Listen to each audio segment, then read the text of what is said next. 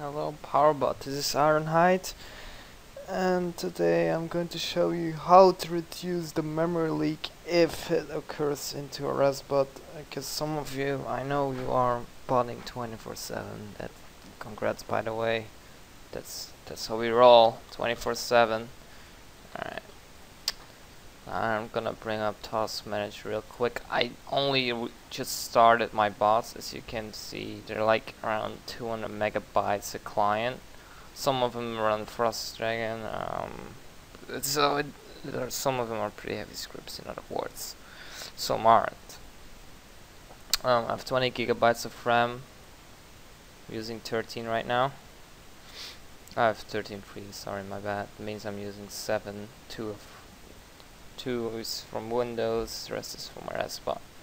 Um, whenever you run a bot, make sure you keep it minimized. It will reduce the reduce the CPU usage a lot. So, all right. What I'm uh, we're going to use is CleanMem, and I will put a link to the description. What this does is it manages your memory. If there is a memory leak, it will automatically fix it for you. This means you most likely won't have the RSBot lag again. Or it usually occurs after 6 hours, 12. For some it's maybe for some it's after 2 or 3 hours. Not everyone has a good computer, some of them are even shit. So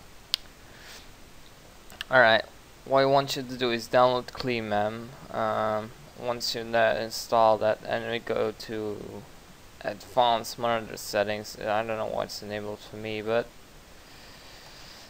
the first time you should be able to edit it um, you should make it check every one minute when it when the usage is above 10% auto clean file cache same one minute when cache is above one megabyte then advanced monitor rules is check every 5 minutes. That's all you gotta do. And then you minimize it, just close it, and to run in the background. Um, tomorrow morning I will show you again um, how my bots are running. The usage of the memory. As you can see, it's not that much. and today we ran for around 24 hours if you paid attention to the clock we are around 24 hours further um, let's call task manager again as you can see some of them went up but most of them are just perfectly fine. Mm.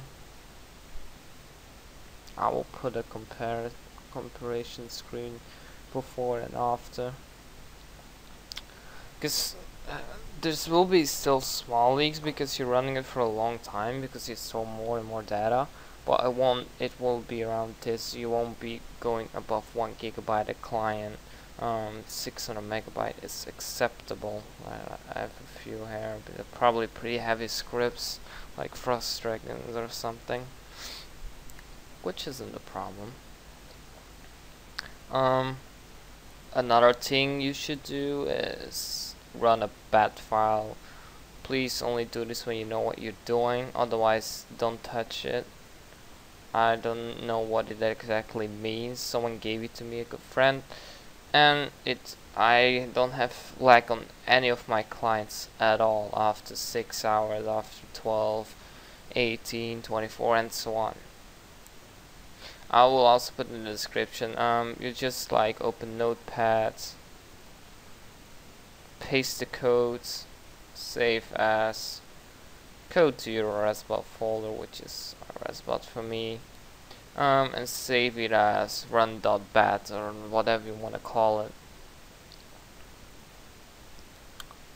And that's pretty much it. Um, if it did work for you, I'm pretty sure it will. Um, make sure to give feedback on this if it doesn't I feel sorry but if you can post your computer specs if it doesn't work so we can look into it alright thank you very much see ya